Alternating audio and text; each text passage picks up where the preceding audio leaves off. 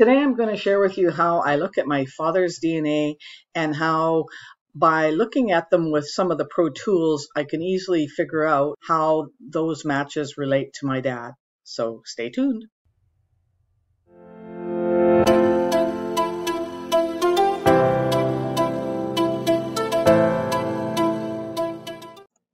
Here's my dad's DNA match page, and you can see at the very top, of course, that's me and one of my brothers showing up as one of his highest match. So what we're going to do is go over to the sort and change it to the newest to oldest. So it'll give us a list of uh, the matches and who's new and you know in the order that they come so as you can see, the very first one, we have this person AG. Now you'll notice that um, it's been uh, blurred and anonymized and put into uh, initials, and that's by using a tool called Goldie May. So that way I can share with you and I don't have to worry about other people understanding who they might be. So here you see this match is a second cousin according to uh, ancestry, and it also shows 243 centimorgans. Now, there are multiple relationships, and that could be at 243 centimorgans. So let's have a little look at DNA Painter and see what it shows. So I've put 243 centimorgans in DNA Painter's shared centimorgan project tool, and it automatically gives you the possible relationships. So 61% half great aunt or uncle, second cousin, half first cousin once removed, first cousin twice removed, and a half great niece or nephew. So there are other possibilities other than the second cousin that Ancestry identified. And if we clicked on the hyperlink that shows that second cousin on Ancestry, we would see those other relationships. But uh, this just gives you an idea of what the other relationships could be, and also that there are possibilities. There, uh, you could go to the 28% or the 10%, uh, but those are less likely. So let's start with the most obvious. Now I'm back at Ancestry, and I'm looking at my dad in uh, comparison with this new match, AG, and I can go to the shared matches, and you'll notice that I have Pro and that means that I have Pro Tools, and that can help quite a bit. Here we are at my dad and AG and how they relate to their matches that they have in common. So I should point out that my dad is not only a second cousin to him, but this AG comes from his my dad's maternal side of the family. So no paternal uh, connection and so now we're just looking at my grandmother's side of the family on my dad's side. So as we look here, you'll see that it shows the matches that he has in common with AG, and they are sorted by my dad's top match to going down to his lowest match that he has in common. So that might not be very helpful because, uh, you know, of course, I have uh, top matches. A lot of my family is in here. And so there'll be distant matches for AG. But we want to look at how, what are AG's top matches that he has in common with my dad. And we can do that by going to the sort tool. This is a new feature from Ancestry, and it really does help uh, understanding how those matches pertain to AG. So let's have a look.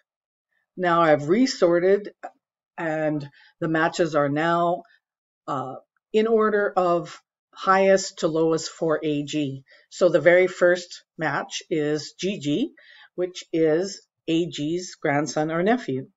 And you can see that he shares 1927 centimorgans. And for my dad, he uh, GG shares 74. So you can see how this is much better. So I can figure out relationships quite easily uh, by looking with Pro Tools and how they relate to AG. So the next is my dad's brother. And again, same situation as my dad. He's a second cousin. He shares a little bit more DNA with uh, AG than my dad does. And then below that is a person that I do know and how they relate. And uh, I can see that it that he is a relationship again on my dad's mother's side of the family, and this person is a descendant of my great grandparents. And so for AG, he's a second cousin once removed. Now, where it really might help is when we look at this one and we see MB is is AG's half cousin twice, uh, half cousin or second cousin once removed.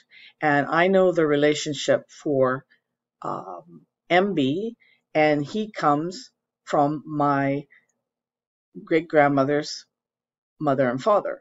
So now we can exclude my gra- great grandfather's side of the family, and we can only look, and then we only need to look at my grandmother's uh, mother's side of the family. So we're starting to exclude relationships, and we'll know exactly where to look.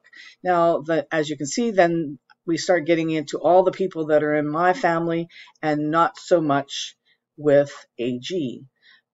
So this means we're going to have to look at some of the lower matches and see how they might relate and and find some in common with people for them.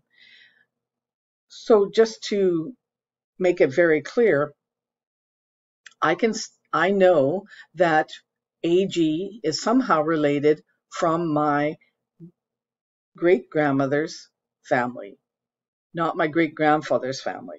So it narrows it down. Now I know that my great grandmother's family was very large. So let me share that with you. So this is my tree, this is my great grandmother, and these are all of her siblings and her parents. So likely because AG is a second cousin, this is likely where we connect as he AG is probably a descendant of one of these people. But it's possible that he's one for generation further back is where his connection is. So that will mean me to looking at some of the other matches that AG has in common with my father. Now, when I did have a quick peek, those other matches don't really have very good trees. I would consider more like twigs. And sometimes, you know, you see those matches that have uh, one person in their tree and they happen to be private. So it does make it challenging but I did notice that there were a couple of people that did have the name Clark in the tree. Now, Clark is a common name, and so it, that might not be the connection, but it's a, a it's a possibility, that's for sure. So it's going to, but it's going to require some tree building, and that's what happens when you're using DNA and or genetic genealogy is that you have to do tree building. Now, I would suggest that you create a DNA tree that you used kind of like your little sandbox to play and figure out how you might connect. Now, my DNA tree is private and unsearchable, so no one can see it and no one can get confused by what might be going on in that tree.